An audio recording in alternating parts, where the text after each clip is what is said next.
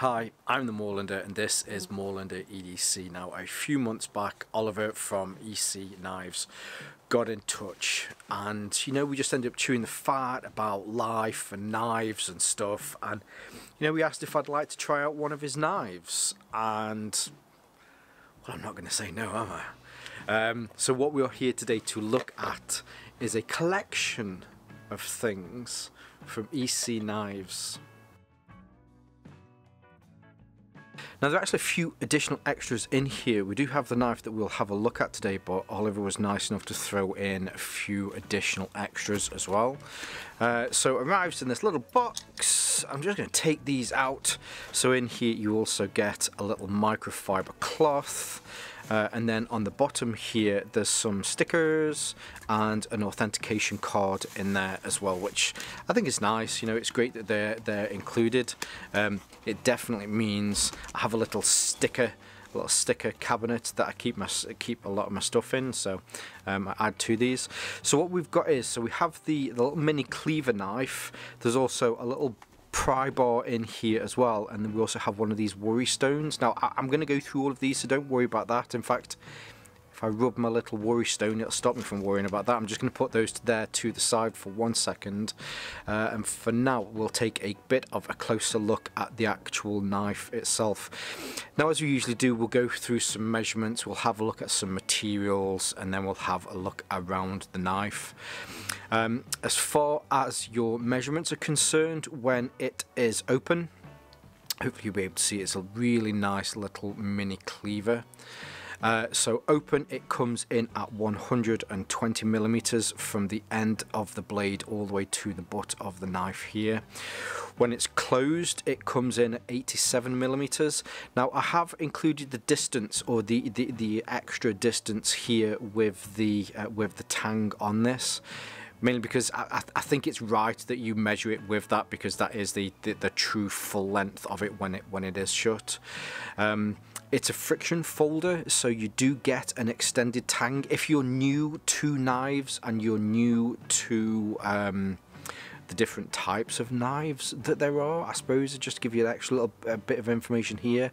Uh, so a friction folder generally has uh, an extended tang and this, so the the part that would normally go into the handle of the knife or the part past um, that goes into here is called the tang so uh, the, the tang on this folds back into the knife um, the mechanism or the, the pivot mechanism on this, this is a freely open and closable um, slip joint, which means that it is fine for UK legal carry. Um, as you can see, the, the actual cutting edge or the length of the blade um, is what is it now? It's 40 millimeters, which is which is an inch and a half. So you definitely need to worry. Here in the UK, it's three inches or less. It's perfectly legal to carry. Um, but what I find personally, I'm a huge fan of friction folders mainly because as you hold the knife, um, it does give you that extra little bit of security about it closing on on yourself. Um, but I suppose with the legality of it, it isn't a lock. It just it just holds it into position there. You can put your thumb on it, and it just makes it a little bit easier uh, to manipulate and to, to do things with. For me, I, that, that's generally why I'm a I'm a big friction folder fan. Uh, but yes, so we got into the the, ex, the the, the length of it open. It comes in at uh, 87 millimeters, or about three and a half inches. The blade stock on this is really nice blade stock. Um, it's quite um, a popular blade stock for knife makers, um, which is the 1084 steel. Now 1084 is a tool steel, it's a high carbon steel um, and as the name would suggest a tool steel is the type of steel that you'll find that your screwdrivers, your chisels, all of those sort of carpentry and mechanical kind of tools, a lot of them are made from. The main reason for that is because it's a very tough steel. Now there's a difference between tough steels and hard steels. Um, generally tough steels are your high carbon steels steels, hard steels are your stainless steels. Hard steels have a habit of chipping, whereas um, tough steels, like a tool steel, has a less chance of um, well of, of chipping and plus if you do damage the edge if you roll this or in any sort of way you should be able to get back uh, should, should be able to get it back to you know what you'd want from it um, the other kind of way up that you have between a stainless steel and a tool steel or stainless steel and a high carbon steel is with a stainless steel there's very little maintenance that you have to do to it. Um, whereas with a carbon steel there is a little bit of maintenance. So you just need to make sure that you keep it oiled um, or if you get it wet that you clean it and dry it as quickly as well not as quickly as possible but um, if, you, if you leave it so that it's wet or it's around moisture you might find uh, that it, it will start to rust the finish on this, you might look at this and think, oh, he's not done a particularly good job of cleaning that up, especially when you look at some of the other ones where he's done a really nice, not I wouldn't say a high polish to them, but it definitely looks a little bit cleaner than that, than, than the model that I have here. And I will say, so this is where you insert the meme from Friends where the guy was like, "Oh, did you wash your hands?" and she's like, "No, they're still." Oh, and he's like, "No, I like them dirty." That's kind of what I said to him. What I wanted to have was this, almost as though you know the um, the forging scale had been left on there. He even said, I, "I want it to look dirty." I quite like that. I, I, I, think it's a shame sometimes that some knife makers take a lot of that scale off. It's the character that, for me, makes it completely unique. Um, so I did, I asked him to leave that on there. He did a couple of other things. I think he put some bluing on here and then scratched some of it off so you can see here where the uh, where the grind has been put onto this. Uh, whereas here on the side, uh, on, on the Ricasso here, you can see where it's still got some of the marks from the heat treatment. I, I love it. I, personally, for me, I think it adds a lot of character to the knife. Um, I mean, I've waffled on for a bit there. Let's let's let's get back to some of the measurements. The the thickness of the blade stock is two millimeters, which is great, um, and the overall thickness of the scales comes in at 17 millimeters. Now the scales themselves, so these are made from G10, um, and the, this to, to this part of it is completely customizable. So uh, I'll ask what sort of scales I wanted to go for. There were a few different types of hardwoods that he'd got. Um, there was, I think there was a couple of different types of resin ones. I'll get back to you on that one, but I'm sure there's a couple of resins. Um, and I went for the G10 on this. Um, and so he's custom layered this so that we've got grey with some orange and then some grey through there. I'd randomly spent the day before looking at some old Ford GT cars from like when did the Ford GT beat Ferrari? I want to say the 50s, 60s, 70s, whenever it was. So I'd got this grey and orange theme in my head. I also, when I play games, I generally set up my characters as with with uh, with grey and and orange as well. So when he said he could perfectly make whatever scales I wanted to, I was like, yeah, we've got to go with this. It looks awesome. Uh, as far as the construction is concerned, you have your pivot pin here at the end.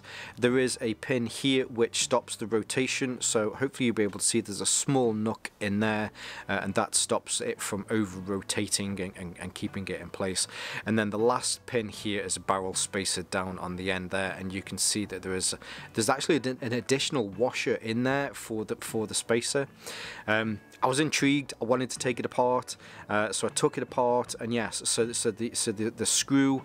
What's the type of pin? Is it called a Chicago pin, where where you have the pin in the middle and then the two uh, screws that go in either side of it, and then there is a there's a washer in there to add that nice accent color have had a look through his website and through some of the other uh, knives that he's made, um, and I, I, believe that there are different uh, different washers for these as well. So this doesn't screw directly in. There is a there is a washer underneath this uh, this uh, th these these two screws here, which again is just a nice feature. It's it's a nice accent as well. Um, across the top, across the top of the spine here, this is I mean, you can shave you can shave your uh, thumbnails with these so there's a nice 90 degree on there. If you needed to strike a ferro rod maybe with this then you can do. The extended tang on the end here has this nice little hook that can be used as a bottle opener if you'd like to as well. And there's some jimping here so across the spine of the scales uh, and when you pull this out across the tang or across the spine into the tang here uh, it matches that as well. So you can get a good grip on this. Now as far as the grip in your hand is concerned it's a good three fingers. So there is a there's a finger choil here for your index finger. And then uh, I mean I have medium to large size hands and then I can get another two fingers around there. And it's a good grip. I think for a small mini chopper like this it, it really is the perfect size for it. But if you wanted to so through where this space is here at the back you could easily take something like a lanyard pass it through there and pull it tight. Um, I, I, a lot of people say why do you have lanyards on knives? For, for some people one it makes it easier to find in your pocket and two it also helps with this baby finger to grip it. You can get a good hold on the knife and then also hold onto the lanyard as well so that you get a full grip on the knife to stop it from moving in your hand.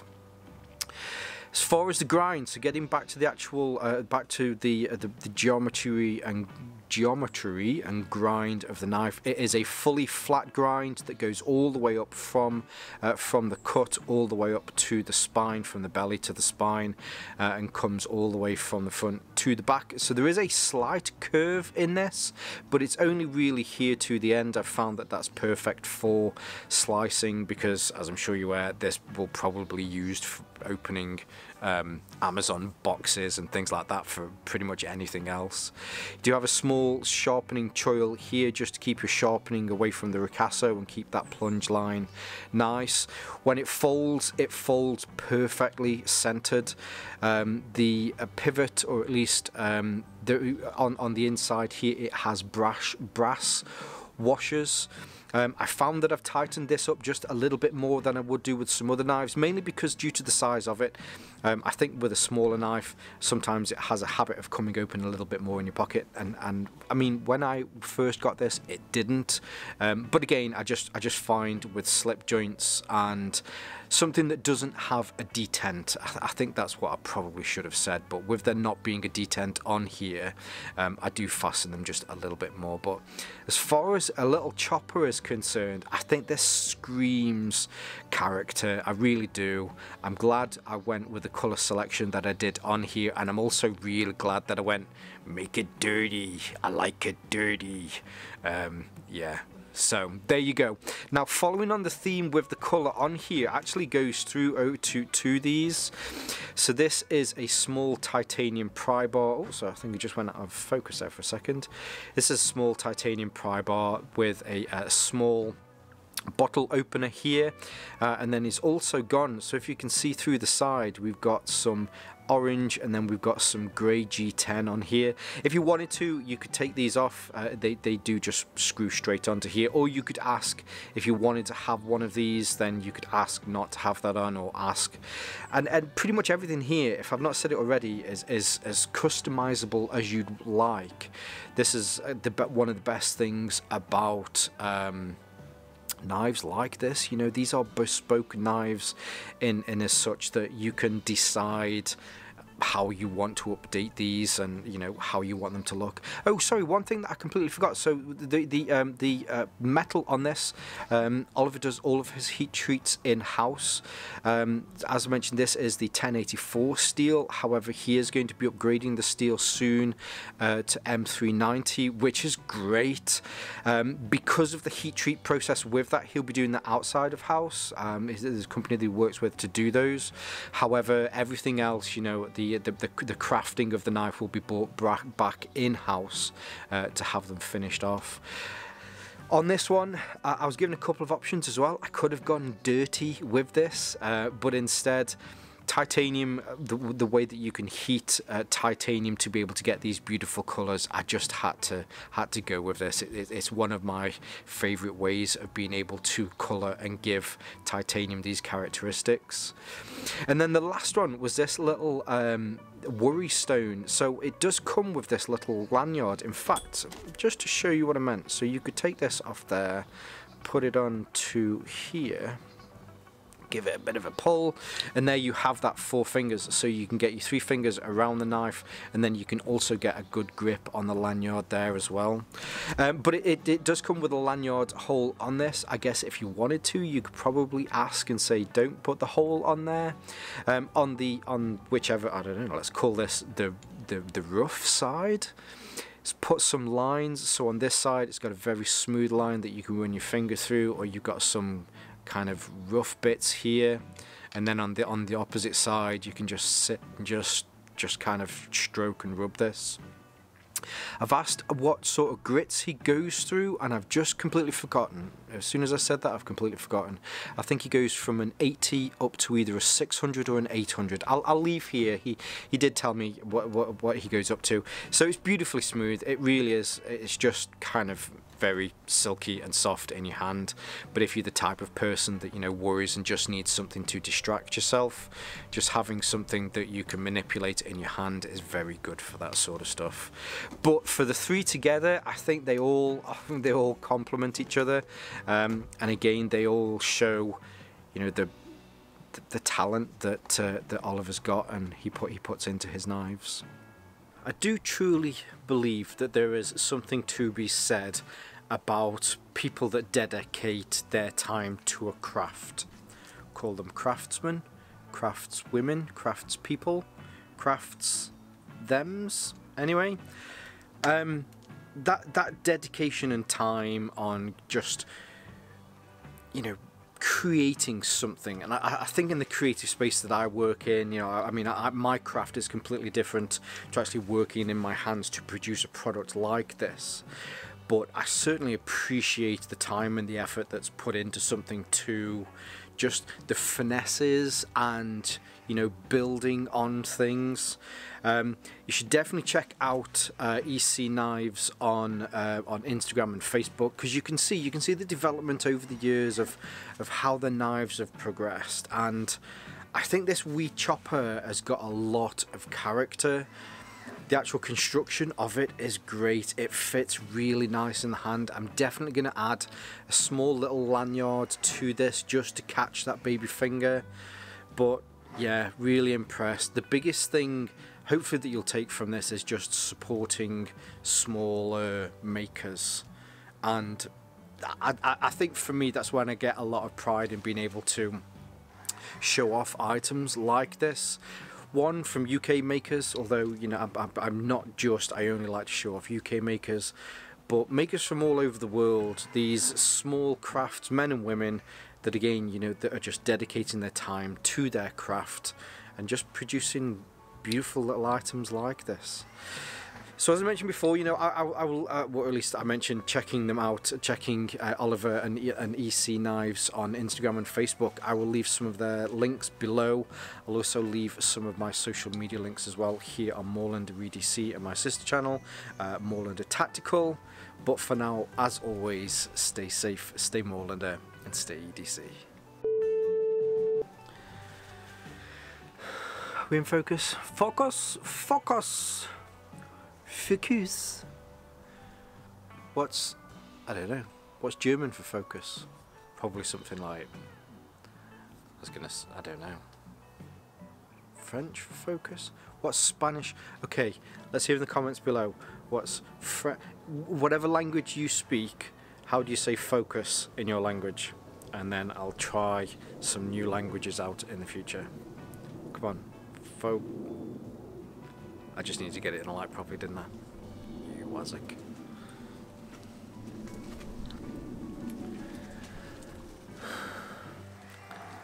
Someone is always making a noise. Always. I can go in now. Whoever it is will stop making the noise. I could have a kip. Four or five hours. No noise through that sleep whatsoever. I'm a heavy sleeper anyway. Come back outside, set back up, someone will make the noise. It's a fact of life. Once you embrace that, embrace the chaos, then you'll live a fulfilling, fulfilled life. And shoot his cat every time it comes into the garden. Just kidding. Don't shoot cats. I tie them up and put them in plastic bags and throw them in the canal. Just kidding. Or am I? Hi, I'm the Moorlander. This is Moorlander EDC. Now, a few months ago, Oliver from EC Knives. It is EC Knives. Why have I got CE Knives in my head? Because I'm an idiot. Because you're not, but. I don't know if I waffled that last bit. I think I got the point over that I wanted to make. There were a few additional extras that he said that he'd throw in, so.